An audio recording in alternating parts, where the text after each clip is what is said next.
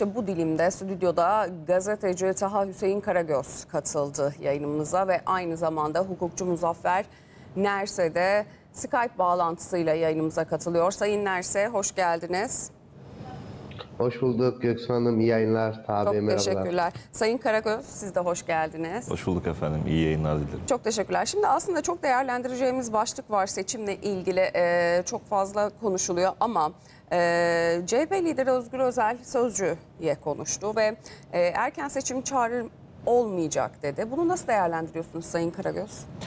Ee, Sayın Özel açıkçası seçim sonuçlarının resmi olmasa da artık netleştiği dakikalarda yaptığı ilk e, konuşmada bunun sinyallerini vermişti. Seçim sonuçlarını milletin kıymetli bir emaneti olarak nitelendirip bunu yerine getirmeye e, çalışacağız demişti ve neredeyse erken seçime dair tüm şüpheleri de ortadan kaldıracak bir e, konuşmaya imza atmıştı. E, ülke artık Sayın Cumhurbaşkanı da ifade ettiği gibi yoruldu. Siyasiler de yoruldular. Yani 2017 referandumu, 2018 genel seçimi, 2019 yerel seçimi, e, bir pandemi ve e, bir daha 2023 genel seçim ve 2024 yerel seçimleri. Dolayısıyla hem e, dıştaki meseleleri halledebilmek hem ya- yabancı yatırımcıların Türkiye'de önünü görebilecek bir siyasi atmosfer oluşturmak adına bence kıymetli bir ifade oldu. Çünkü bu denli başarı sağlamış bir muhalefetten gelecek erken seçim e, yankı uyandıracaktır. Yani %25'lerde takılmış bir Cumhuriyet Halk Partisi'nin yapacağı erken seçim çağrısıyla yıllar sonra e, birinci parti olarak çıkmış bir Cumhuriyet Halk Partisi'nin yapacağı erken seçim çağrısı arasında fark olacaktır. Elbette ki meclisteki çoğunluklarını değiştirmiyor bu durum. Türkiye Büyük Millet Meclisi'ni kastediyorum. Elbette ki Cumhurbaşkanlığı hükümet sistemi uyarınca Türkiye Millet Meclisi'nde alınması gereken çoğunluk alınmadan bir erken seçime gidilemez. Ancak baskı oluşturulabilir. Bu baskı hükümeti zor durumda bırakayım derken ekonomiyi, yatırımları, e, orta ve uzun vadeli tüm planları etkileyebilirdi. O yüzden 2028'e kadar hem vatandaşın zihninin artık berraklaşması hem yatırımların, planlamaların e, borçlanmaysa borçlanma, e, takvimse takvim bütün bu süreçlerin planlanması için herkes açısından daha öngörülebilir süreç e, olacaktır bu açıklamayla beraber. E, ben çok e, olgun bir açıklama olarak karşılıyorum. Peki. Sayın Nerse sizden de aslında bu değerlendirmeye ilişkin e, fikrinizi almak istiyorum. Çünkü e, bundan sonraki sürece de bakacağız. Erken seçim olacaksa buna yine halk karar verecek dedi Sayın Özel. Ben bir erken seçim çağrısı yapmıyorum. Erdoğan'ın telaşla 4 yıl seçim yok demesi bahsettiğiniz kaygıdan. Çünkü güvensizlik oyu olarak görüyorlar. Ben fırsatçılık yapacak değilim. Her an yapılacak seçime hazırız dedi e, açıklamanın tamamında. Şimdi açıklamanın tamamına bakacak olursak e, nasıl okumak gerekiyor? Aslında ben de öyle girecektim konuya Göksu Hanım. Hani e, evet erken seçim çağrısı yapmıyorum diyor Özgür Bey ama bence bu konuşma tam da e, bir erken seçim çağrısı. Yani illa erken seçim istiyoruz e, demekle olmuyor. Buna ne diyor? Halk karar verecek diyor. E, Sayın Erdoğan'ın konuşmasına atıfta bulunarak bundan sonra seçim olmayacak demesi işte bununla ilgili e, kaygılarını gösteriyor Şöyle diyor. mi demek istiyorsunuz Sayın Nerse? Aba altından sopa mı gösteriyor Sayın e, Özel? Ab- tabii e, öyle de denilebilir ya da e, işte bu erken seçim bakın daha seçimin üzerinden e, iki gün geçti ve biz erken seçimi konuşuyoruz. Yani e, erken seçim aslında erken seçim istiyorum diye değil işte böyle e, gündeme getirilir ve bu, bu bir süreçtir. Ha, şunu söyleyeyim evet e, işte biz yaklaşık 2022 yılının e, Şubat ayından Mart ayından beri e, sürekli olarak e, seçim konuşur haldeyiz. İşte altılı masanın e, oluşturulduğu dönemden itibaren sürekli olarak e, Türkiye seçim konuşur halde, bir seçim gündemiyle uğraşır halde.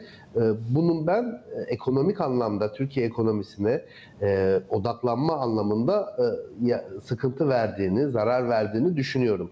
Yani gerçekten de Türkiye'nin seçimsiz bir döneme ihtiyacı var.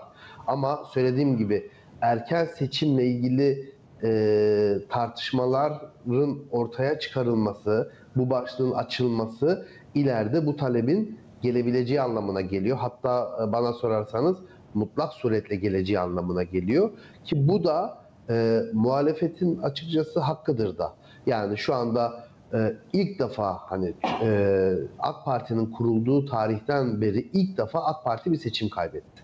Yani bir önceki yerel seçimlerde de Ama bu yerel seçim değil Partisi- mi e, Sayın Nerse? Şimdi e, muhalefetin hakkıdır e, sorunuzu e, Sayın Karagöz'e de yöneltmek istiyorum. Lütfen sözlerinizi Evet. unutmayın çünkü e, aslında asıl e, belki tartışmamız gereken yer burası. Sayın Nerse e, muhalefetin hakkıdır ilk defa böyle bir başarı e, muhalefet elde etti diyor. E, şimdi ama genel seçimde 10 ay önceydi. E, siz buna katılıyor musunuz? Şimdi Genel 2000 seçimde böyle bir tablo yoktu. Evet. 2024 yılına geldik.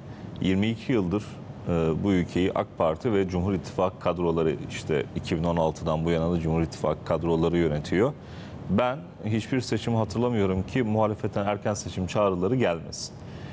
%25'lerde bu çağrıları yapan partilerin işte %40'lara dayanmış e, bir pozisyonda erken seçim çağrısı yapmasını beklemek çok olası aslında. Hatırlamıyor, hatırlıyor musunuz bilmiyorum ama 2019 yerel seçimlerinden sonra Sayın Akşener çıktı meydanlara dedi ki haydi 2020'de erken seçime dedi. Çünkü iktidar İstanbul ve Ankara'yı kaybetti dedi. Adana'yı kaybetti, Antalya'yı kaybetti dedi. Bunu bir güven oyu olarak nitelendiren muhalefetin 22 yıllık alışkanlığıydı aslında. Ama elbette ki yerel yönetimdeki sonuç, e, yerel yönetimi biz o zaman e, güven oyu olarak e, sandığı o şekilde nitelendirmemiz gerekiyor kanunla. Yani şöyle bir madde ekleyebiliriz. Evet siz genel seçimde halkın oyuyla Cumhurbaşkanını seçebilir, e, Millet Meclisi'ni seçebilir, hükümetinizi kurabilirsiniz. Ancak müteakip yerel seçimlerde alacağınız bir başarısızlık sizi- sizin hükümetinizi düşürür. Böyle bir şey söylemek mümkün mü? Söylenemez. Ama bu yönde bir çalışmayı içerisine 22 yıl önce muhalefet partileri girdi. Ben e, elbette ki değerlidir kendi görüşü Muzaffer Bey'in ama ben katılmıyorum. Yani bunu söylemek Sayın Özel'in e, yerel seçim talebi bizden gelmeyecek ifadesi e, ni söylemek ya erken seçim tartışmasını başlatmak değildir. Erken seçim tartışmasını başlatmanın önünü kesmektir. Çünkü bu konuda bir açıklama yapmadığını düşünelim. Yahut o soruları diyelim ki siz işte biz gazeteci dostlarımız çıktılar dediler ki efendim erken seçimle ilgili bir çağrınız olacak mı? Son, e, bu soruyu cevapsız bıraktı. Yahut dedi ki bu konuları önümüzdeki günlerde cevaplarız. Önümüzdeki günlerde cevaplarız ne demek? Bak yıllardır bu işin içerisindesin.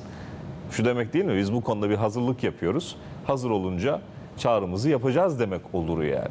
Ama daha Bismillah seçim yeni bitmiş. İkinci günden bu tartışmaların önünü kesecek nitelikte bir açıklama olarak Sayın okudum Nerse ben. şu cümleden değerlendirerek yanlış e, söylemiyorum değil mi? Sayın Nerse lütfen siz de katkı sağlayın. Erken seçim olacaksa buna yine halk karar verecek sözüyle e, aslında nasıl söyleyelim işin topu daha doğrusu Topu halka halka atıyor. halka attı anlamında bir İşte değerlendirme yaptı. Buna katılıyor karar, ka- halkın karar vermesi yani teknik olarak mümkün değil. Ya Cumhurbaşkanı e, yetkisini kullanarak erken seçim kararı alabiliyor şu anki sistemde ya da mecliste çoğunluğu sağlayarak üçteki çoğunluğu sağlayarak erken seçime götürebiliyorsunuz ülkeyi. Buradaki halk bunu e, sağlayacak sözünden kasıt şu olabilir. Ne, ne olabilir? E, yani 2001 yılında erken seçim kararı nasıl alındı? İşte hatırlarsanız işte yaz, e, yazar kasa fırlatmalar, eylemler, yürüyüşler, Ankara'dan e, toplu e, işçi eylemleri vesaire. Yani halk bu derece rahatsız olur da politikayı zorlarsa elbette ki yani bunun muhalefet partisi tabii ki de arkasında duracaktır bu işin.